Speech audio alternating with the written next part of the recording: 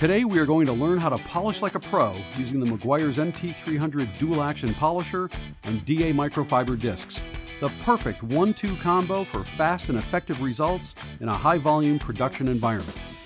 Thanks to its rugged professional grade design including variable speed with digital torque management, the versatile MT300 is the perfect tool to quickly remove swirls, buffer trails, oxidation, stains and scratches, even 3000 grit or finer sanding marks, as well as to quickly apply a coat of glaze, polish, or wax for ultra quick turnaround with professional results.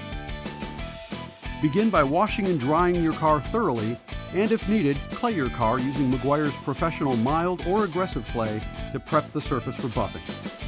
When removing defects like heavy swirls, severe oxidation, stubborn stains, or scratches, use D300 microfiber correction compound and the DMC5 microfiber cutting disc.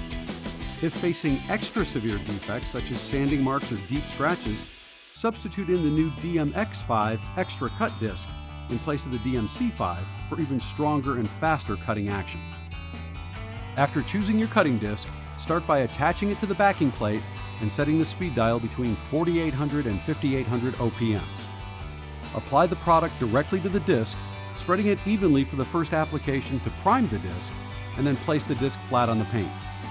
Turn the machine on and begin working with moderate pressure in a 50% overlapping crosshatch pattern, making sure to keep the disc flat against the paint with the backing plate rotating at all times for maximum defect removal.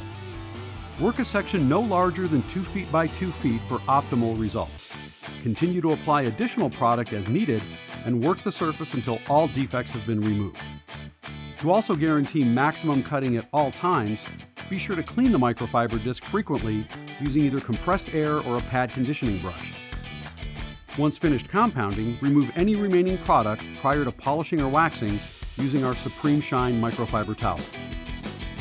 Your second step will be to apply Meguiar's D301 finishing wax at 3800 OPMs using a DA microfiber finishing disc. This step will both polish the paint and leave lasting wax protection, but will take less time and fewer passes compared to compounding. Although rarely necessary, after compounding, if you prefer to further refine your finish before applying a lasting wax, use Meguiar's D302 microfiber polish in place of D301 finishing wax. Work each section using 3 to 5 overlapping passes and a speed of 3800 OPMs until the desired finish is achieved. Once done, apply D301 finishing wax for lasting protection.